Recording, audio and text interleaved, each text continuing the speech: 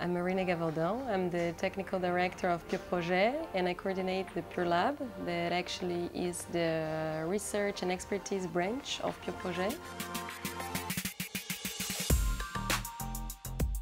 So we work to better assess the impacts of the projects we develop in the field. Our main objective is to measure the impacts that we have on the field so we have different indicators in terms of sustainable development and with a specific focus on agroforestry projects and the ecosystem service that they bring when we plant trees, but also with the farmers and with a larger view of the supply chain.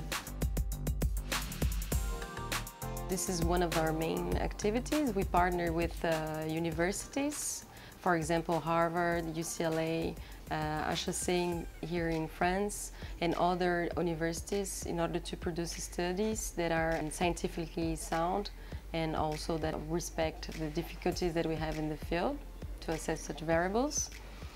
We also work developing standards and working with carbon certification and giving support to the teams in the field for the technical aspects, planting and quality of saplings and other technical aspects. So we have a transversal role in terms of expertise on agroforestry and ecosystems restoration.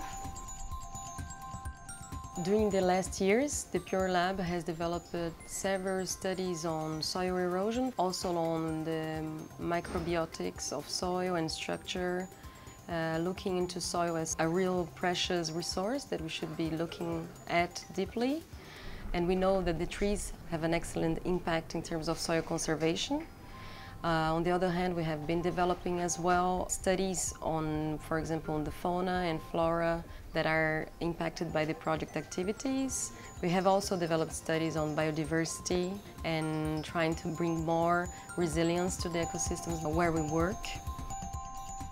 PUR Projet is not only working with classic research institutes, uh, but we are also working with the local partners and local organizations in order to develop research action because we believe that traditional knowledge is worth being spread and that we should use the knowledge that is available on the ground to build better projects and also to empower farmers